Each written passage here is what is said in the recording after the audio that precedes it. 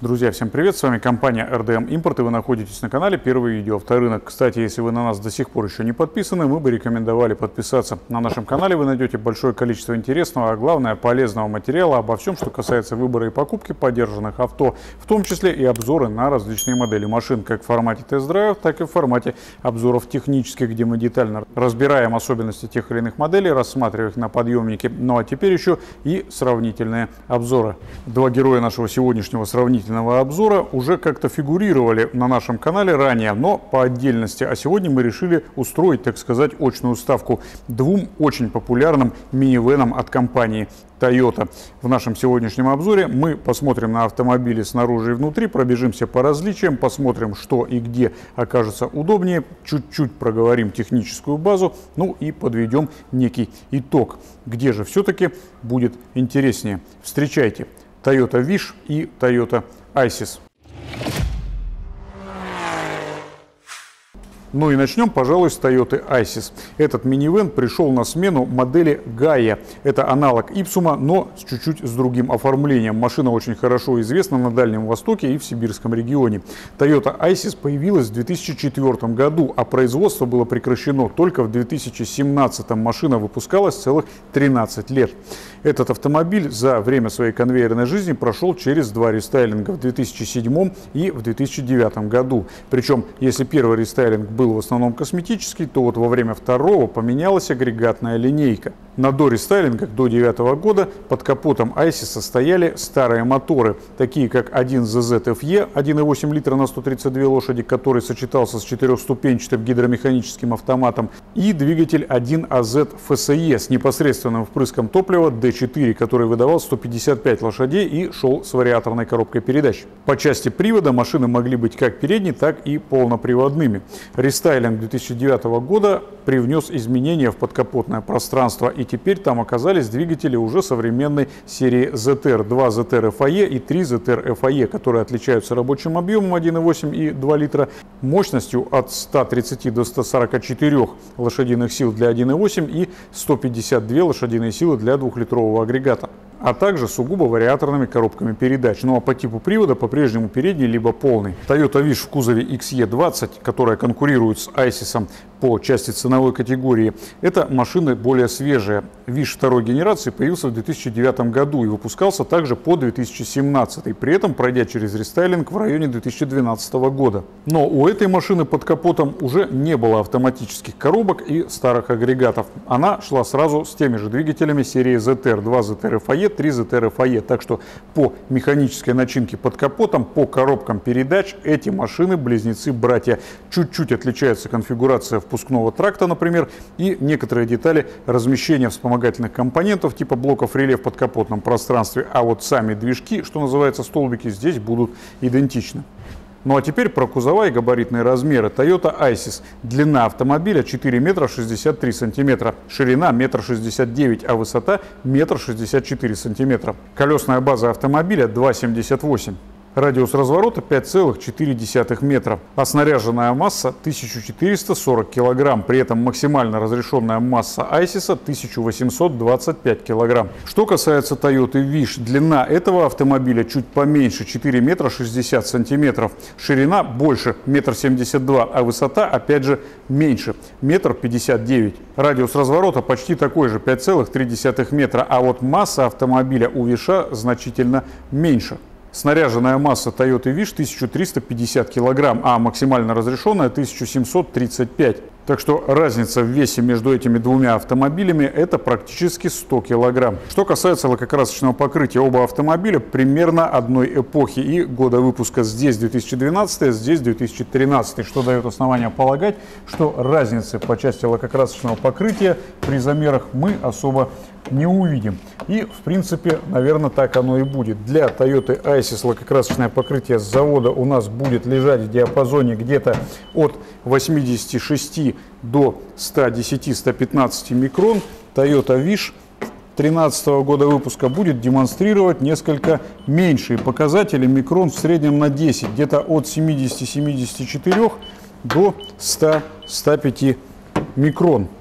Хотя дело здесь может быть и в том, что виш черного цвета и, соответственно, прошел через большее количество полировок в своей жизни, потеряв при этом некоторую толщину лакового слоя.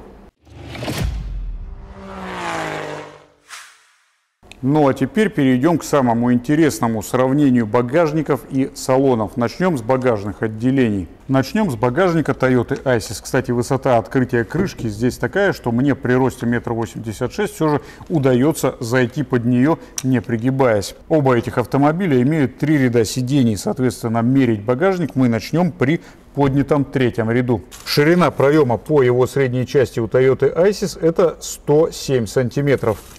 Высота самого проема багажника порядка 89. Важный момент. В Toyota Isis третий ряд сидений, будучи разложенным, освобождает нишу в полу, где они хранятся. И высота багажного отделения в этом случае увеличивается, причем достаточно прилично, до 107 сантиметров. Ширина багажника по полу, если говорить про нишу 97, а по верхней части порядка 103 сантиметров. Полезная длина багажника в этом случае небольшая, всего 43 сантиметра. Если же третий ряд в данный момент вам не нужен, в Toyota Isis вы можете сложить сиденье. При этом спрячутся они в ту самую нишу на полу. И вы потеряете в высоте багажника, но выиграете в его площади. В этом случае длина полезного пространства в багажнике до сидений второго ряда, которые в данный момент сдвинуты в максимальное заднее положение, этого можно добиться еще без демонтажа пластиковых заглушек на полу, получается порядка 108 сантиметров. Ну, а если этого вам мало, и вам надо увезти действительно крупногабаритный длинный груз, складывайте спинки сидений второго ряда. Спинки в данном случае вперед не складываются, но у Айсиса есть вариант подъема подушки сидения вертикально вверх для перевозки высоких грузов. Такое же мы могли видеть на автомобилях Honda Fit, причем всех поколений. Сиденья складываются назад, то есть в лежачее положение, и тем не менее освобождают нам пространство. В этом случае длина салона до спинки водительского кресла составит 199 сантиметров. Но в данном случае компания предусмотрела вариант складывания пассажирского сидения вперед на манер столика. И при такой конфигурации длина салона до панели будет равна 2 метрам 90 сантиметрам. То есть чуть-чуть наискось, но в этот автомобиль трехметровый груз вы погрузите. Кстати, ключевая фишка кузова Toyota Isis это отсутствующая, а вернее встроенная в саму сдвижную дверь центральная стойка кузова. Так что боковой проем огромный по ширине вы также можете легко использовать для погрузки каких-то габаритных предметов. Ну а теперь перейдем к Toyota Wish, габаритные размеры которого в плане длины, напомним, на 3 сантиметра меньше, чем у Айсиса. Давайте глянем, как обстоят дела с багажным отделением.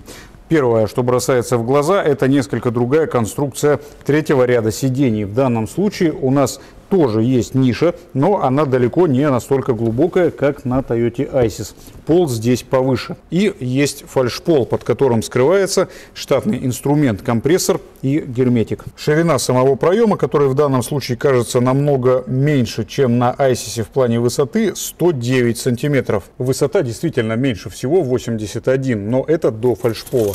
Ширина багажника посередине 138, почти 140 сантиметров а по длине он на пару сантиметров короче, 41.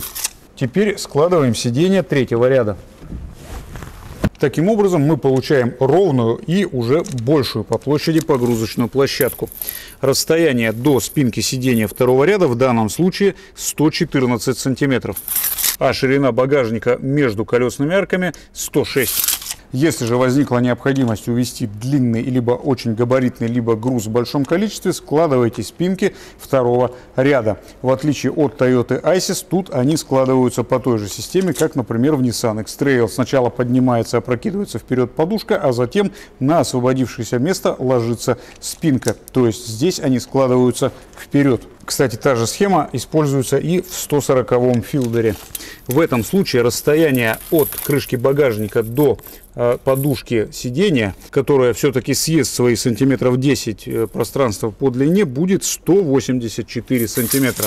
Расстояние до передней панели, если вы будете проталкивать длинный груз между сиденьями, чему, кстати, будет препятствовать сложенная и торчащая в проем между передних кресел подушка сиденья, будет равняться 2 метрам 70 сантиметрам. Так что в плане перевозки длинномеров Toyota Isis однозначно удачнее. Под капотом одного и второго автомобиля в данном случае абсолютно идентичные силовые установки. Это два ZR FAE.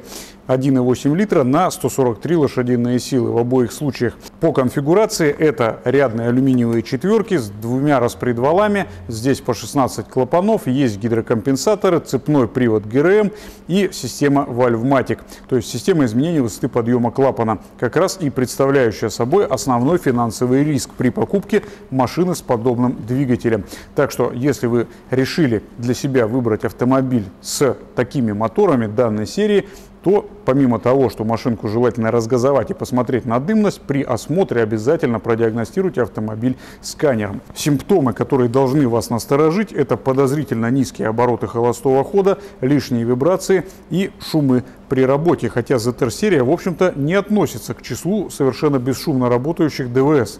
Как правило, проблема системы Valvematic происходит по вине окисления платы в блоке управления, куда попадает влага вследствие разгерметизации, и это проявляется в виде гирлянды ошибок на приборной панели, либо уже непосредственно связано с износом механической части в головке блока цилиндров. Но, как правило, такие вещи случаются на автомобилях с огромными пробегами. И вообще-то формально одноразовый ZR, который по идее не имеет ремонтных размеров и не ремонтируется, выхаживает свыше 300-350 тысяч километров пробега. Самое главное, меняйте масло вовремя и не перегревайте мотор. За системой охлаждения здесь нужно следить. Интервал замены масла 7-8 тысяч километров. Также из хорошего эти моторы далеко не экзотическое предложение на рынке контрактных агрегатов. Компания Toyota сделала огромное количество моделей, под капот которых устанавливались эти двигатели, начиная с европейских вариантов Toyota RAV4 после рестайлинга третьего поколения и заканчивая такими машинами, как крайне распространенный у себя на родине Toyota Allion Premium. Так что недостатков в донорах агрегатов у владельцев подобных машин нет, как нет, собственно, и частой потребности в их замене. Ну а теперь про салоны. У Toyota Isis салон в данном случае очень светлый, и это добавляет ему простора. Хотя на самом деле, попадая сюда, нельзя сказать, что он какой-то супер огромный. По крайней мере, в плане ширины. Но сидеть за рулем удобно. При росте 1,86 м удобную для себя посадку я подобрал довольно быстро. В этом автомобиле рулевая колонка регулируется как по вылету, так и по наклону. Причем регулировка по наклону подпружинена. Это очень удобно. В духе старых Toyota вперед. Сам руль удобный, профилированный, хоть в данной комплектации на нем и нет клавиш управления, но держаться за него приятно, несмотря на то, что он пластиковый. Правой рукой на дверной карте есть подлокотник, он опять же находится на правильном месте, но выполнен из жесткой пластмассы. С левой стороны у водителя есть свой собственный подлокотник. Может быть удобно в дальней дороге. Справа на дверной карте блок управления стеклоподъемниками. Он традиционный, тойотовский. Кнопочки ровно те же, что, например, были в 140-м Филдере. Здесь у нас все четыре стекла, также с авторежимом. Клавиши центрального замка и боковые зеркала. Справа за рулем и причем абсолютно в непросматриваемой зоне находится кнопка запуска остановки двигателя. Наверху корректор фар и клавиша открытия боковых дверей. В данном случае электрифицирована только левая, вместо правой, соответственно, просто заглушка. С левой стороны также две заглушки и небольшая монетница. В этом автомобиле не штатная мультимедийная система с двухдиновым экраном, но на нее выводится картинка с камеры заднего вида, что упрощает маневрирование. Все, что касается климат-контроля, сгруппировано вокруг селектора коробки передач. Здесь климат полностью автоматический, удобная поворотная рукоятка регулировки температуры, нажатие на нее активирует авторежим, режимы обдува выбираются отдельные большой клавишей и хорошая удобная кнопка регулировки оборотов вентилятора. Тут же настройки часов и режимы отпотевания лобового стекла, подогрев заднего, выключить климат полностью, рециркуляция и клавиша включения-выключения кондиционера. Все очень удобно и тактильно различимо на ощупь. Внизу 12-вольтовая розетка и подстаканники оригинального дизайна и конструкции, выдвигающиеся из центральной консоли. И также туда собирающаяся. Ну а внизу есть небольшой кармашек, куда можно сложить, например, ключи от автомобиля. Кстати, в остальном ключи по большому счету в этой машине деть некуда, как и сотовый телефон. Никаких ощутимой площади полочек здесь нет. Либо это все будет складироваться в кармане внизу, либо в бардачке сверху в дополнительном, который сам по себе небольшой, либо на нескользящих ковриках на самой приборной панели. Основной бардачок у Айсиса довольно-таки объемный. Сюда войдут не только бумаги формата А4, но и что-то более серьезное. А внизу дверных карт есть узкие кармашки, плюс отформованная ниша под бутылочку с водой. Посредине никаких дополнительных емкостей нет. Как равно нет и подлокотника у переднего пассажира справа. По части обзорности все очень даже неплохо. Боковые зеркала здесь большие по площади. Есть маленькие, но, кстати, практически бесполезные окошки э, в широких стойках. Сама приборная панель хоть и находится относительно высоко, но крыша еще выше, поэтому лобовое стекло здесь не производит впечатления амбразуры. А вот капот полностью невидимка и насколько высоко не поднимай в этом автомобиле сиденье, край капота вы все равно не увидите. Кстати, о диапазоне регулировки кресла я сейчас сдвинут в самое максимально заднее положение. Здесь присутствует также регулировка по высоте, но даже опустив сиденье максимально вниз вот до такого уровня, вы не вытянете левую ногу в колени. Хотя посадка здесь все же вертикальная, минивенистая, не особо это нужно. Ну а теперь давайте посмотрим, как обстоят дела на задних рядах. Что касается сидения заднего ряда, оно абсолютно плоское. Здесь, в принципе, разместятся три пассажира, если средний не будет слишком больших габаритов. Сиденье регулируется вперед-назад, но вот это практически максимально сдвинутое назад положение. Хотя в видео про Toyota Isis подписчики говорили о том, что если убрать пластиковый ограничитель на рельсах на полу, можно отодвинуть его еще дальше назад. В данном случае при регулировке сам за собой я касаюсь коленями переднего сидения. Но в целом сидеть здесь нормально. Единственный момент, что в нашей комплектации нет центрального подлокотника, хотя он встречается, а с правой стороны на дверных картах нет, соответственно, вообще никакого подлокотника. И сидеть придется без опоры для рук. Внизу дверной карты есть небольшая ниша под подстаканник, есть кармашек на переднем сиденье и небольшой крючок, на который можно подвесить груз максимум 4 килограмма весом. Зато запас пространства над головой здесь довольно большой ощущение давления потолка на голову не возникает. Ну, а что касается сидений третьего ряда в Toyota Isis, естественно, для взрослого человека, особенно высокого роста, это сугубо временная мера. Переднее кресло в данном случае пододвинуто в упор назад. Коленями я его также касаюсь. При этом бедро у меня полностью висит в воздухе, поскольку подушка здесь, естественно, небольшой высоты. Но для самых задних пассажиров есть подлокотники рядом с колонкой. Под крышечками сбоку присутствуют подстаканники. Естественно, по ширине сюда больше двух человек уже не войдет. Зато есть возможность регулировать наклон спинки. И это несколько поправляет положение. Так что, если вам придется ехать куда-то на дальняк на третьем ряду Toyota Isis, вполне возможно, придется делать это полулежа. Теперь, что касается Toyota Wish салона и посадки здесь. По сравнению с Айсисом, у Виша посадка куда более легковая. Здесь чуть больше ширина салона, по крайней мере, так кажется визуально. Но вот сама приборная панель, благодаря своим архитектурным формам, здесь занимает больше пространства при обзоре вперед. Лобовое стекло кажется уже, у него больший наклон и здесь более крупные форточки за передними дверями, которые как раз таки практически убирают мертвые зоны, в отличие от Toyota Isis, где в них практически ничего не видно. В плане посадки за рулем, Виш, если честно, мне лично нравится больше, поскольку мне привычнее именно легковушечная посадка, но если вам ближе посадка кроссовера или внедорожника, Isis подойдет вам больше. При росте 1,86 м за рулем Виша мне удалось быстро подобрать оптимальное положение. Сам руль здесь также без всяких дополнительных клавиш управления, не считая подрулевых лепестков для переключения а, передач при ручном режиме работы вариатора, которые он имитирует, подражая автоматической трансмиссии. Руль в данном случае, в отличие от Айсиса, у нас отделан кожей, но это особенность комплектации. У водителя и у переднего пассажира в том числе есть подлокотники.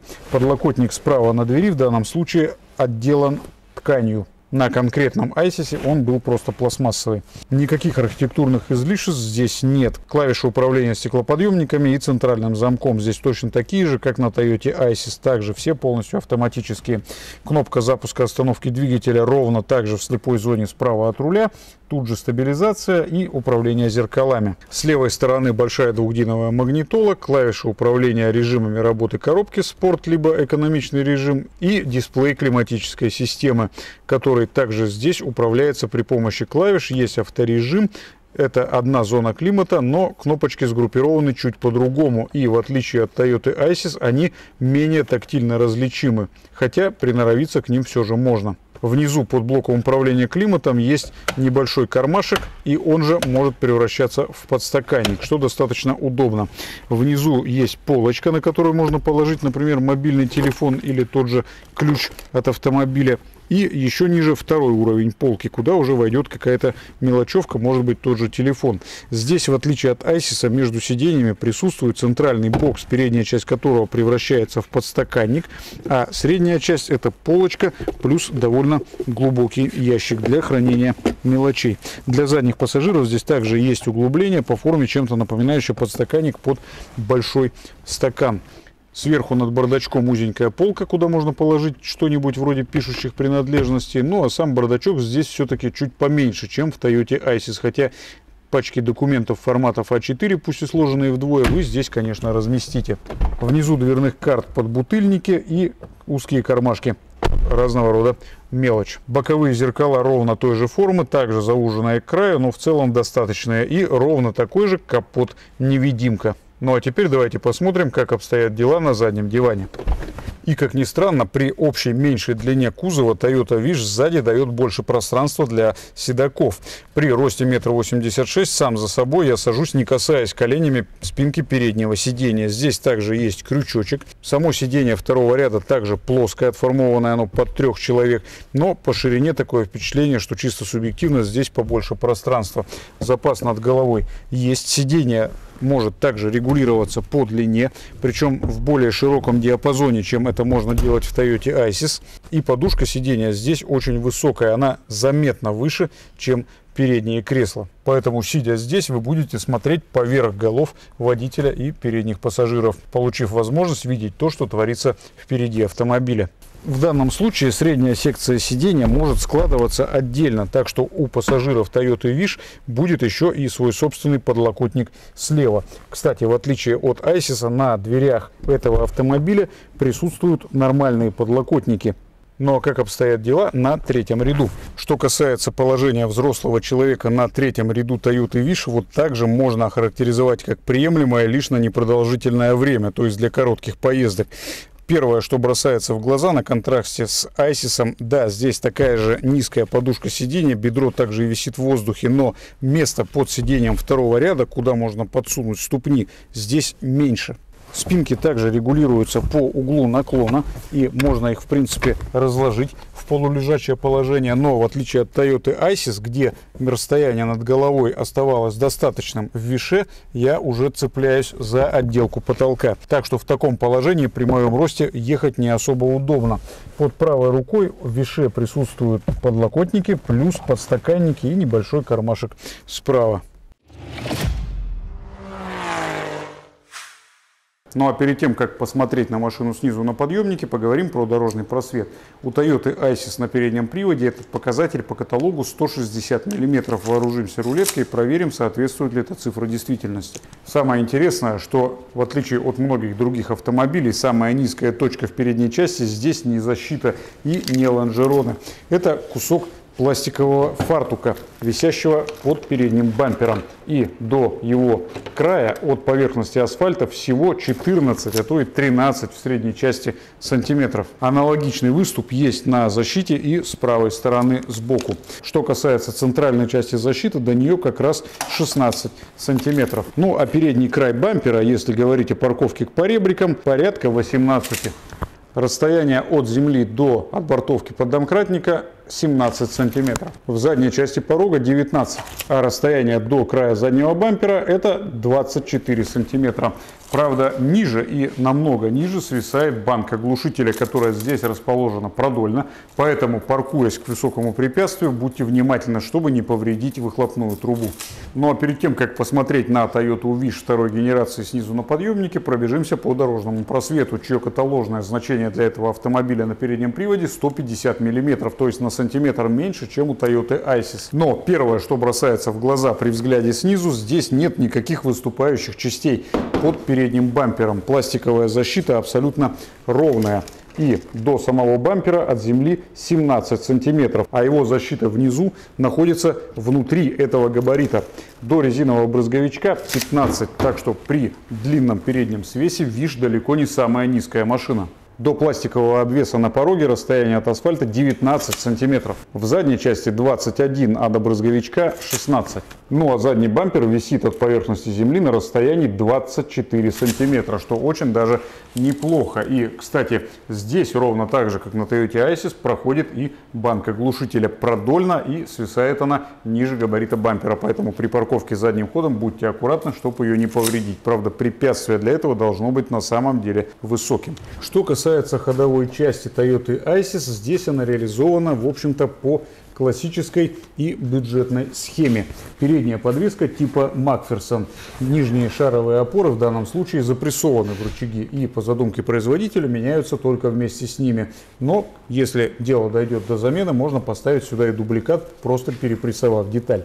Что касается переднего стабилизатора поперечной устойчивости, здесь он крепится на подрамнике, но доступ к креплению этого самого стабилизатора здесь неплохой. Поэтому для замены втулок стабилизатора разбирать полмашины здесь не придется. Рулевая рейка здесь электрическая, это хорошо. Минус проблемы с гидравлическими магистралями и самим насосом, а электроусилитель на Toyota Isis нареканий не вызывает.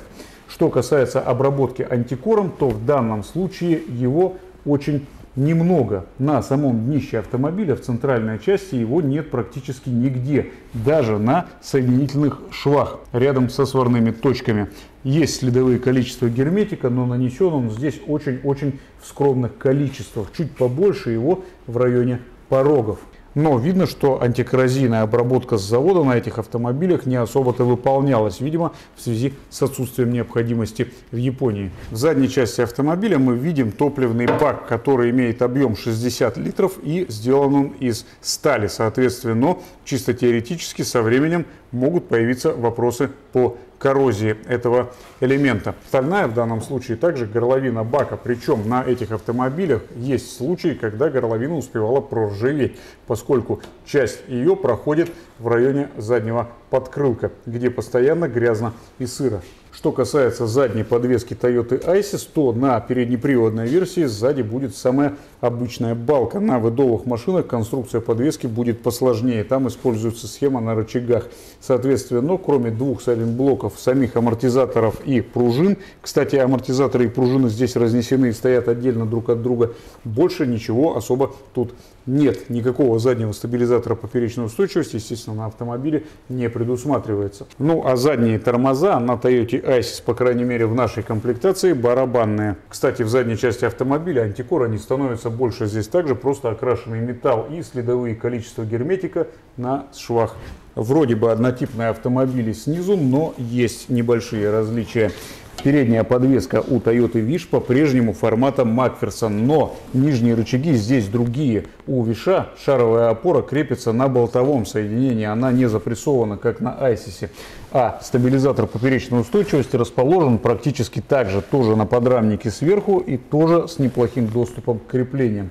Здесь точно такая же электрическая рулевая рейка, которая не потребует от вас каких-то дополнительных затрат и волнений по поводу возможных протечек системы гидроусилителя, которого здесь, соответственно, нет. По автомобилю в плане антикора картина не лучше, чем была на Toyota Isis, а в чем-то даже и поскромнее. Следовые количества антикора обнаруживаются здесь на порогах. Причем, если на Toyota Isis в антикор был задут и сам торец, где сходятся две половинки кузовных панелей, то в данном случае поддомкратник у нас ничем не обработан. Герметик присутствует только на самом днище и то по краям.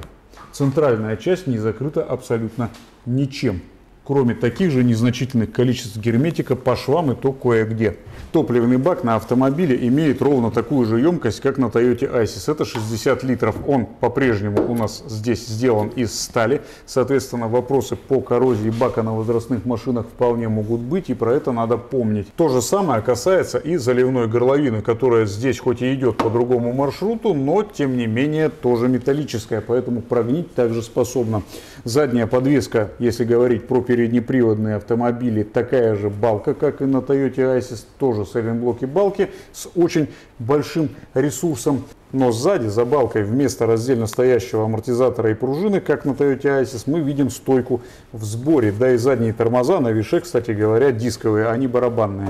Что касается антикора в задней части автомобиля, здесь все с ним абсолютно печально, его нет вообще. Поэтому если вы купили подобную машину, которую планируете эксплуатировать долгое время, а в вашем регионе очень популярны антигололедные реагенты, не поленитесь пройти антикоррозийную обработку. Ну а что касается самой организации пространства, на некоторых комплектациях данного автомобиля по заказу первого владельца в Японии могла быть установлена докатка на кронштейне.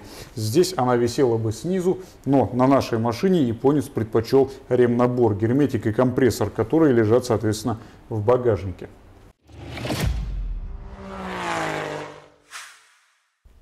Итого, что мы имеем в сухом остатке? Перед нами два вроде бы идентичных с точки зрения агрегатов автомобиля. Если говорить про двигатели и коробки передач, так это на самом деле и есть. Присутствуют конструктивные различия в подвеске машин, как мы это только что увидели. Ну и в плане салона и багажника, какую же из этих двух Toyota предпочесть? На самом деле это дело вкуса, оба автомобиля очень похожи, но у Toyota Isis более высокая, присущая минивенам или паркетникам посадка за рулем. Кому-то это может понравиться больше, однако для людей высокого роста места на втором ряду здесь все же меньше. Toyota Wish предлагает больше пространства для седаков при меньшей длине кузова. Для перевозки крупногабаритных длинномеров ISIS приспособлен лучше. У Виша с этим есть некоторые нюансы. Место на третьем ряду примерно одинаково, но у Айсиса сиденья второго ряда находятся чуть повыше, и, соответственно, седокам есть куда деть ступни. У Виша с этим посложнее. Но вот на месте водителя мой выбор однозначно свелся бы к Toyota Wish, поскольку в этом автомобиле мне привычнее и комфортнее в плане посадки. Более легковая и более спортивная, что ли. Немаловажную роль при выборе автомобиля для кого-то сыграет, конечно, и дизайн. У Toyota Isis он более консервативный, Виш выглядит посовременнее и более злым, что ли. Особенно в комплектациях, предполагающих наличие внешних аэродинамических элементов. Однако помните, что окончательный выбор автомобиля всегда остается за вами. Опирайтесь на свои ощущения и на состояние той машины, которую вы смотрите. На этом наш обзор подошел к концу. В нем участвовала Toyota Isis 2012 года с пробегом 19 900 километров по Японии и Toyota Wish 2013 года с пробегом 137 тысяч километров также по Японии. Оба мотора 1.8 на 143 лошадиные силы, вариаторные коробки передач и передний привод. Если заинтересовали автомобили из нашего сегодняшнего обзора, пишите или звоните по контактному телефону, который указан в описании под видеороликом. Не забывайте ставить лайки, если обзор был вам полезен. Пишите новые идеи для сравнений, какие модели вы хотели бы видеть в наших обзорах. Спасибо, что вы с нами и до новых встреч на канале. Пока!